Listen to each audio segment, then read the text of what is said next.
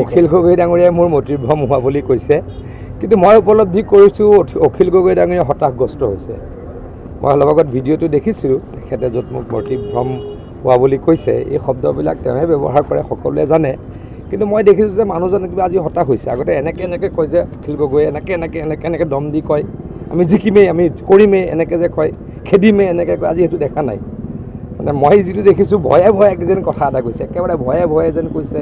যেন ইলেকশ্যনে হাৰিলেই তেনেকুৱা এটা পৰিৱেশ মই দেখিছোঁ। মানে নিমাও মাও বুলি যে এটা পৰিৱেশ কয় তেওঁৰ আজি মুখখনত তেনেকুৱা এটা পৰিৱেশ হতাশাগ্ৰস্ত এটা পৰিৱেশ। কাৰণ তেখেতে জানে যে তেওঁ জানে তেখেতে জানে যে ইয়াতে কেতিয়াও থাউৰাত তেখেতলোকে ছেকেণ্ড পজিশ্যনটো আহিব নোৱাৰে। তেখেতলোক থাৰ্ড পজিশ্যনত হয়তো বহুত দূৰত থাকিব আৰু আমি বহু হাজাৰ ভোটৰ ব্যৱধানত জয়লাভ কৰিম। সুশান্ত বৰগোহাঁই ডাঙৰীয়া পুনৰবাৰ বিধায়ক নিৰ্বাচিত হ'ব।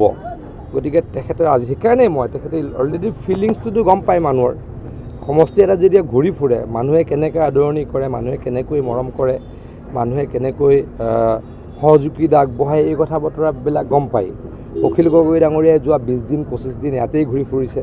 গতিকে তেখেতে গম পাইছে যে মানুহে আদৰণি কৰা নাই মানুহে সহযোগিতা কৰা নাই। গতিকে মোক যে মতিভ্ৰম হোৱা বুলি শব্দটো কৈছে আজি ইমান তেওঁ নম্ৰ হৈ গ'ল এটা বিপৰীত অখিল গগৈ মানে। আগতে এনেকৈ এনেকৈ এনেকৈ কয় এনেকৈ কয় এনেকৈ এনেকৈ এনেকৈ কয় আজি নাই আজি নাই মানে কি হতাশগ্ৰস্ত তেওঁ। তেওঁ কৈছে- হতাশগ্ৰস্ত ইলেকশ্যনত হাৰিব ৰিজাল্ট অলৰেডি গম পাইছে। লিফলেট বিলোৱা।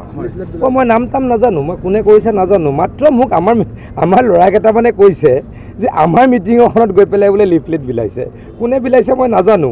মই ৰাজ্য দলৰ কোনোবা কাৰ্যকৰ্তা বুলি শুনিছিলোঁ। সেইটো কেনেকুৱা কথা?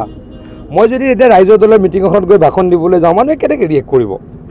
আমাৰ মানুহ গোটাই থোৱা মিটিং তাতে গৈ লিফলেট বিলাইছে। কোন মই এগৰাকী মহিলাগৰাকী চিনি নাপাওঁ। মই ভাবোঁ যে অতি কমেও বিছ হাজাৰত জিকিম। বিছ হাজাৰ আশে পাশে বা বিছ হাজাৰতকৈ ওপৰত জিকিম আজিৰ তাৰিখত। চাওক এটা সময়ততো কংগ্ৰেছটো নাইকিয়া হ'ব। আমিওতো কংগ্ৰেছে কৰিছিলোঁ। কংগ্ৰেছত এতিয়া আৰু দেশক ভাল পোৱা মানুহ অসমক ভাল পোৱা মানুহে কংগ্ৰেছ কৰিব নোৱাৰে।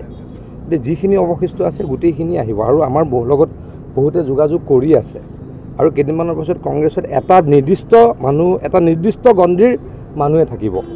এটা নিৰ্দিষ্ট অঞ্চলৰ মানুহ ধুবুৰীৰ মানুহ বৰপেটাৰ মানুহ ঢিং ৰূপহীৰ মানুহ সেই অঞ্চলৰ মানুহখিনিহে বা বৰাক ভেলীৰ কিছু কিছু মানুহ সেই অঞ্চলৰ মানুহখিনিয়ে কংগ্ৰেছত থাকিব। অসমক ভাল পোৱা ভাৰতবৰ্ষক ভাল পোৱা মানুহখিনি গোটেইখিনিয়ে পৰৱৰ্তী সময়ত বিজেপিত যোগদান কৰিব। একৈছ তাৰিখে মাননীয় মুখ্যমন্ত্ৰী ডক্টৰ হিমন্ত বিশ্ব শৰ্মা ডাঙৰীয়াই ছখন সভা কৰিব আৰু ছাব্বিছ তাৰিখে আৰু পাঁচখন বা ছখন সভা কৰিব। তেখেতে প্ৰত্যেকখন গাঁৱলৈকে যাবলৈ খুজিছে মানুহৰ মনৰ বুজ ল'বলৈ এই বিচাৰিছে মানুহে। কেনেকৈ চৰকাৰখনক আদৰণি কৰিছে সেই বিষয়েও তেখেতে যাব খুজিছে গতিকে অলমষ্ট গাঁৱে গাঁৱে গৈ মিটিং কৰাৰ সিদ্ধান্ত লৈছে। সুশান্ত বৰগোহাঁই ৰাইজে ভোট দিব। এই ভোটটো থাৰ সমষ্টিৰ উন্নয়নৰ কাৰণে সকলো ৰাইজে দিব। ডেফিনেটলি ডেফিনেটলি ডেভেলপমেণ্ট আপোনালোকে দেখিছে। এই চাৰি মাহত প্ৰায় ষাঠি কোটি টকাৰ ৰাস্তা আৰু দলঙৰ কাম হৈ গ'ল। কামো আৰম্ভ হৈছে। কেইদিনমানৰ আগত মই আধাৰশিলা কৰাৰ কাম আজি দেখি আহিলোঁ কাম ষ্টাৰ্ট হৈ গ'ল। এইবিলাকতো মিছা কথা কোৱা ৰাজনীতি নহয় কাম কৰা ৰাজনীতি। তো ডেভেলপমেণ্ট বহুত হ'ব থাউৰা অসমৰ দহটা উন্নত সমষ্টিলৈকে অহা পাঁচটা বছৰৰ ভিতৰত পৰ্যবেক্ষিত হ'ব।